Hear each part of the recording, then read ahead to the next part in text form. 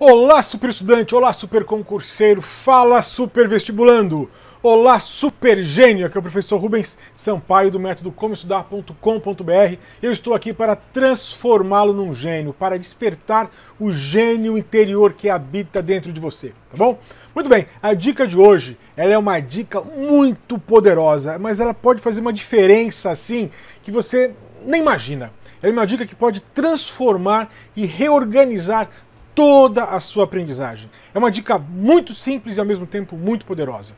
Seja lá qual for o curso que você estiver fazendo, seja lá qual for para qual finalidade você estiver estudando, pode ser que você esteja no ensino médio, pode ser que você esteja, quem sabe até terminando o ensino fundamental, pode ser que você esteja fazendo faculdade, terminando o seu ensino superior, ou fazendo pós-graduação, ou se preparando para algum concurso público, não interessa. O que você tem que fazer é escolher uma ou, de preferência, duas disciplinas, duas matérias, também de preferência mais ou menos diferentes. Não vale assim, tipo história e geografia, português e inglês, duas línguas, não. Então, sei lá, talvez química e história, por exemplo. Alguma coisa assim. Então, escolha de preferência duas disciplinas para serem as duas disciplinas preferidas. Você vai falar para você mesmo: nessas duas disciplinas eu vou ser o cara, eu vou ficar muito bom nessas duas disciplinas. Bom, imagina só que você tenha escolhido matemática. Se você escolheu matemática para ser muito bom em matemática, isso vai repercutir nas outras disciplinas. Você sendo bom em matemática, isso vai repercutir em física, isso vai repercutir em química, vai repercutir na sua geometria, vai repercutir em muitas outras disciplinas do seu currículo. Se você for bom em matemática e você estiver fazendo, por exemplo, computação, você vai ficar bom de lógica. Então isso vai te ajudar a pensar a programação dos softwares que você estiver elaborando ou criando, por exemplo. Percebem? Agora, se você, por exemplo, resolve por ficar bom em inglês, não, eu quero ficar bom em inglês.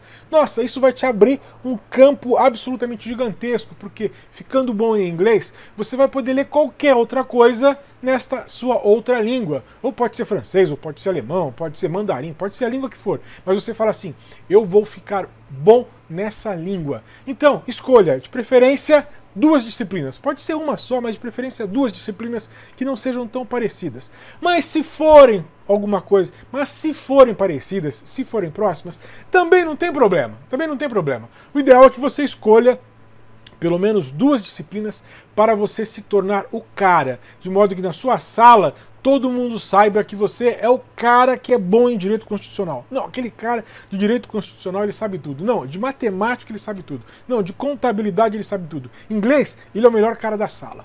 Então, escolha duas disciplinas. Essas duas disciplinas do seu currículo, elas vão irradiar conexões com todas as outras. Se você for bom de português, você vai ficar bom em leitura, você vai saber ler com mais facilidade e vai ter uma capacidade de compreensão mais apurada para ler o que for, para ler qualquer coisa de química, de física, de matemática, de história, de geografia, de literatura. Percebem? Então, se você for bom em duas disciplinas, essas duas disciplinas, elas meio que vão polarizar todo o seu conhecimento e vão organizar o seu conhecimento ao redor delas. Se você for bom em história, por exemplo, você isso vai facilitar a sua vida para entender a filosofia, para entender a sociologia, para entender a política, para entender o presente, o momento em que você se encontra. Então, uma disciplina, uma disciplina que você escolha para ficar bom nela vai repercutir em todo o seu conhecimento intelectual. Essa dica é muito simples e muito fácil. Escolha uma ou duas disciplinas e fique muito bom nas duas. Isso vai repercutir em todo o seu processo de aprendizagem. Beleza? Um grande abraço e até o próximo vídeo.